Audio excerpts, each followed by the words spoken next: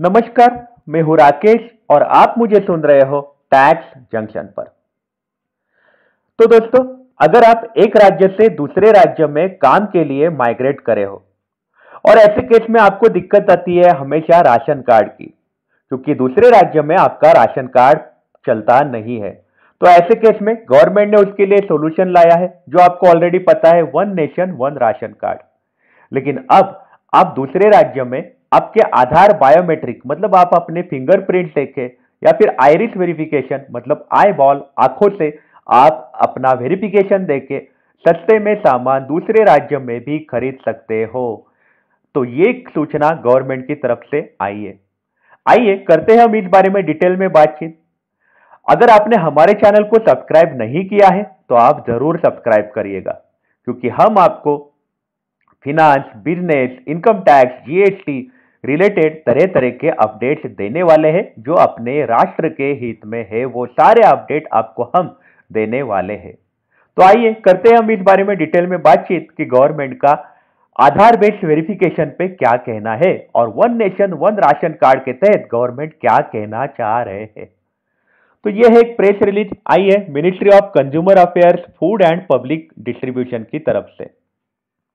तो गवर्नमेंट का ऐसा कहना है कि ऑलरेडी 20 राज्य जो है, उनको one nation one scheme one nation one ration card की स्कीम का ऑलरेडी इंटीग्रेशन हो चुका है। तो वो राज्य या फिर वो यूनियन टेरी टेरिटरी उनके नाम उन्होंने बोले, वो है आंध्र प्रदेश, हरियाणा, कर्नाटका, महाराष्ट्र, ओडिशा, सिक्किम, मिजोरम, तेलंगाना, केरला, पंजाब, त्रिपुरा, बिहार, गोवा, हिमाचल प्रदेश, दादरा नगर, हवेली, दमन दीव, गुजरात उत्तर प्रदेश, झारखंड, मध्य प्रदेश और राजस्थान।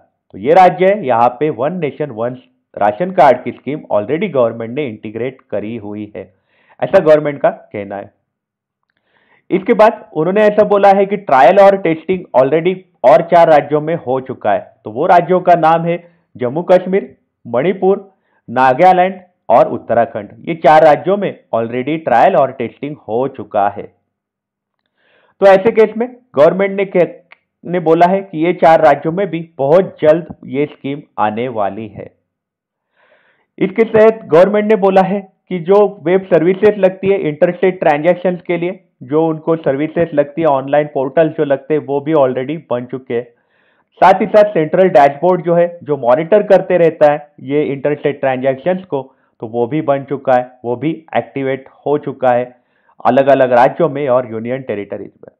तो बाकी सारे राज्य और यूनियन टेरिटरीज जो है, जिनका अभी तक हुआ नहीं है, वो कंप्लाई हो सकता है मार्च 2021 के पहले। मतलब अपने देश में one nation one ration card scheme आ सकती है मार्च 2021 के पहले। इसके बाद गवर्नमेंट ने बोला है कि गवर्नमेंट ने एफपीएस का, की बात कर रहे हैं। एफपीएस मतलब फेयर फेयर प्राइस शॉप जहाँ पे सस्ते में आपको आपका राशन मिल जाता है।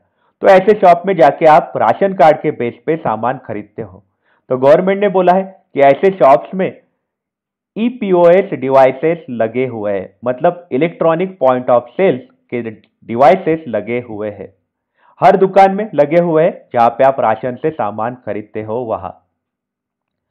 वहाँ पे आपको क्या करना है? गवर्नमेंट ने ऐसा बोला है कि ये दुकानों में जाके आप ने अगर आपका राशन कार्ड के साथ आधार नंबर ऑलरेडी सीड किया है तो आपके घर का कोई भी आदमी वहाँ जाके सामान खरीद सकता है। उसके लिए आपको सिर्फ़ ऑथेंटिकेशन की ज़रूरत है। ऑथेंटिकेशन कैसे होगा? आपका बायोमेट्रिक ऑथेंटिकेशन होगा।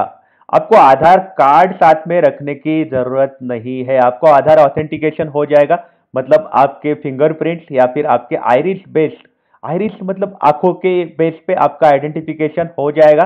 आपको आधार कार्ड लेके जाने की भी ज़रूरत नहीं है।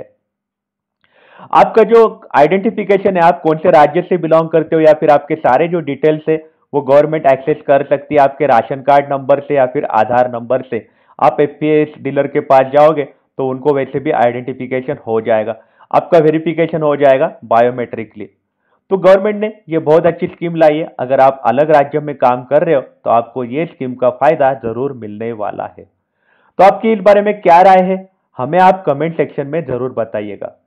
अगर आप काम के लिए बाहर निकल रहे हो तो आप अपने आप को सैनिटाइज करिएगा। Take care, have a night day.